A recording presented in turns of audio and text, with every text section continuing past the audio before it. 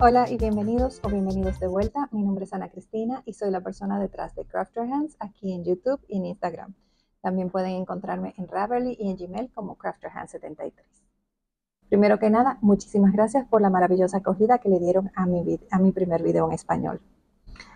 Eh, este va a ser un video bien cortito, es una cápsula de tejido y el tema que vamos a hablar en el día de hoy es el Anchor Summer Shirt de Petit Knit. Eh, este es un tope diseñado para ser construido de, desde de arriba hacia abajo con, una, con un cuello circular. La construcción tiene también raglan y está, eh, el que estamos utilizando en el día de hoy está diseñado para agujetas del número 6 o 4 milímetros con una holgura de 0 a 5 centímetros o de 0 a 2 pulgadas. La tensión es de 20 puntos y 28 vueltas por 4 pulgadas o 10 centímetros. Está clasificado como para principiantes aventureros. Se requiere conocer el punto derecho, el punto revés y los incrementos, al igual que entender el raglan. El patrón viene desde la talla eh, extra small a la 5XL, que es de 80 centímetros a 150 de busto o 31 a 59 pulgadas. Debe ser utilizado con 0 a 5 centímetros de holgura o 0 a 2 pulgadas. La diseñadora también ha creado el anchors en otras versiones.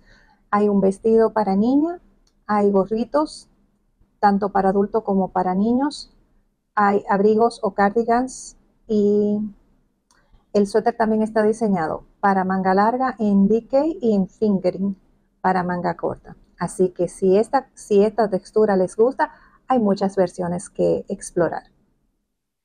En este caso he utilizado el hilo de Katia en la línea New Cancún, que es una combinación de algodón y acrílico. Y la razón por la que utilizo esto cuando utilizo textura es porque las eh, tienden a mantenerse más la tensión en las texturas y tener mejor relieve. Aunque lo he hecho en algodón y también lo he hecho en algodón con lino. Esta versión pueden darse cuenta que es bastante más, más ligerita, pero cuando está puesta no transparenta. Este es un hilo Sport o del número 2 en, en, la misma talla con las mismas agujas. El hilo es de Knit Picks, que es una marca americana, y la línea se llama Lindy Chain. Es una combinación 70-30 con algodón y lino. Y este color es el Ivy. Entonces, en este hilo tengo un puntito más que la tensión recomendada y en este hilo tengo la tensión exacta recomendada. Puedo utilizar ambos perfectamente porque el algodón con lino tiene una mejor caída. Este tiende a ser un poquito más firme, pero realmente se, se realza bastante el relieve y la textura. Entonces voy a mostrarles rápidamente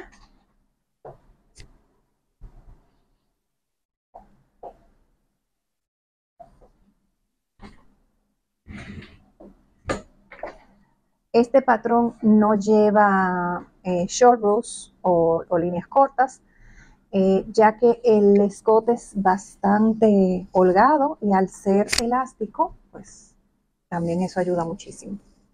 Hay personas que lo que han hecho, personas que le interesa, pueden agregarle los short rows en la parte de atrás cuando se termina la textura y casi no se nota. Yo realmente entiendo que no es necesario en este caso.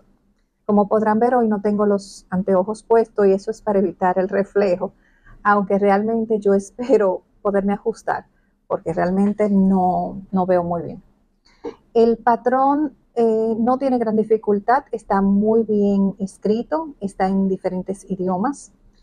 Y yo creo que todavía el rango de tamaño pudiera ser mejorado, pero en caso de que no estén dentro del rango, que sean un pelín, un poquito más, más eh, su busto sea un poquito más amplio, la única recomendación sería agregarle aquí en los raglan hasta que tengan el ancho eh, que les corresponde. Eso es si están solamente un poco por fuera de, del rango del patrón. Es, es uno de esos básicos que recomiendo tener en el closet.